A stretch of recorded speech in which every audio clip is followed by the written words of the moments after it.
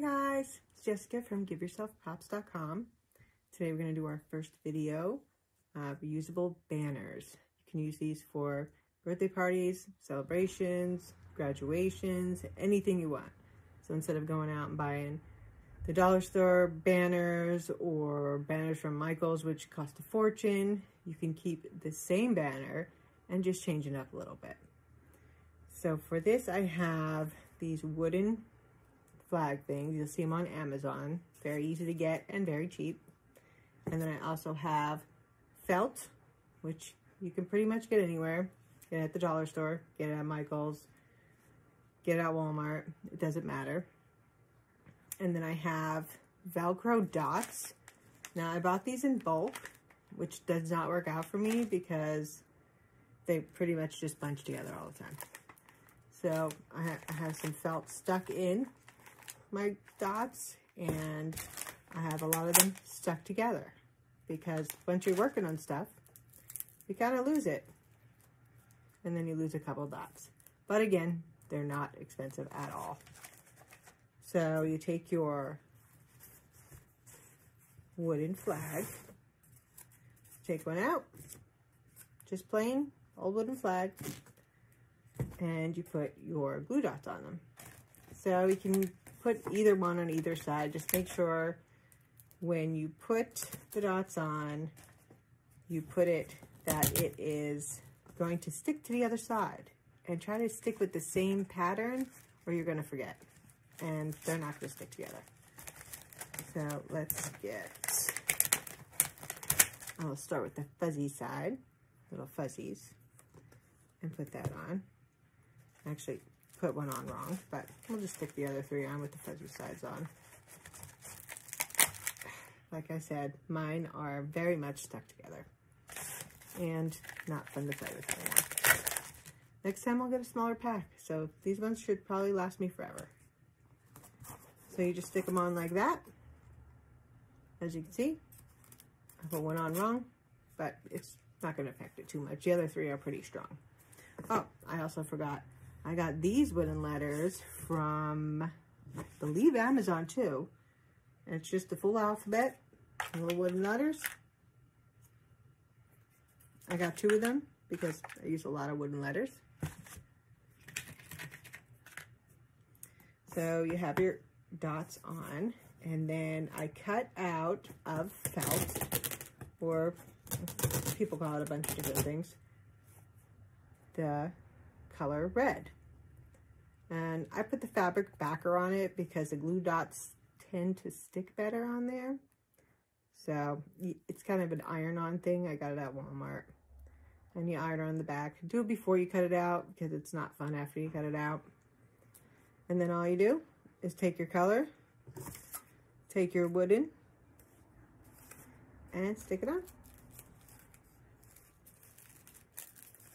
And it stays on because I tested this outside for a week and they stayed on.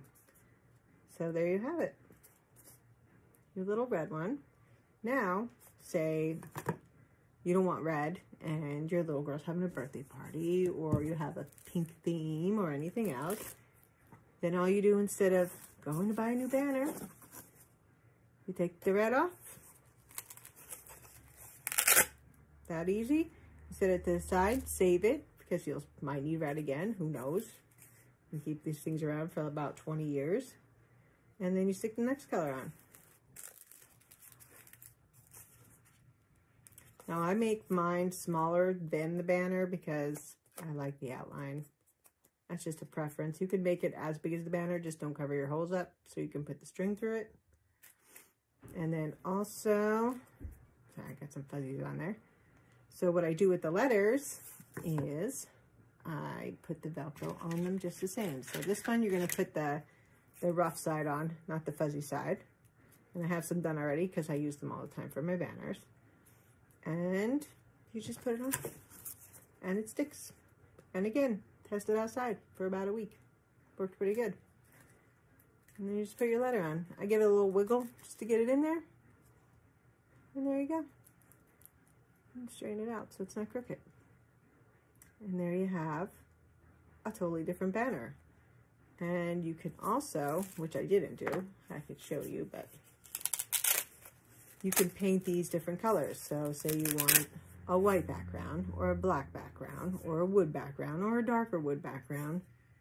Keep a set of each around so you can always switch it up, make what you need, hang little things off the strings if it, you know, you want to jazz it up a little bit, just save the strings and use them for a later date. Don't just throw them away. So I have one that does not have the Velcro dots on it. If you use the rough end on your wood piece, you can do the same thing without putting the dots on even, just wiggle it in. It stays pretty good. I just like the firmness of putting the dots on, knowing it's extra secure, especially since most of the time they're outside. If they're inside, just use one side of the dot and you're good to go. And you can just put other stuff on it and keep it in a little container. I have like these little dots. I think I got them from the dollar store. And you can put them on just the same. Just put it. Put a little dot on. I have them like that. Put your little letter on yeah, it does take an extra minute. I mean, it's not as convenient as going to the store, buying something you're going to throw in the garbage, wasting your money away. But it's beautiful. And you just can't do better than that. And you can customize it to whatever you want. So here's another idea that I really like. So your baby's first birthday party, you, you made your cute banner, you have your color, you have your gem on, you have your letters on, and everybody that's at the party, say you have a happy birthday banner. You could use your first banner piece, which would be your H. I have an A on there right now, but you would use your H, and then, where did I put my marker? Your marker, and put, I'll put my daughter's name. I'm not the best writer, but, and this is her first birthday. I would definitely do a better writing than I did, but first birthday. Maybe put a little line and have your guests sign it who's at their first birthday party. Or even put a picture from their first birthday. And then every year, do the next tile. And then, I think, what is it, 12 years, 11 years, if you put a space in or not, you'll have a banner with a picture of every year or signatures from every year on their birthday party. Or you can even do a handprint or a footprint from, hmm, I guess that would get too big. Never mind. Fingerprint, you can try that. And then to keep it, you know, without getting fancy, use some clear nail polish. Paint it on there. It'll be there forever. You can do the acrylic too, but just be careful. That might get a little heavy on the banner. It'll be hanging down. So that's about all I have for today. Um, we'll be working on the next project. We're going to make our own fluffers. If you don't know what a fluffer is, give me a second. I'll show you.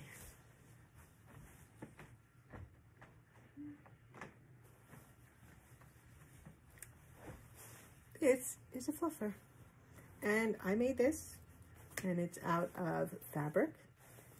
And basically, when you're done with the party, you can throw in the washer. Then you put away, and you're good to go. We'll go over this next week. All right, thanks for watching. Don't forget to hit subscribe so you don't miss a show and you don't miss a project or an idea. If you have any suggestions, comment, like, subscribe. Talk to you later. Bye.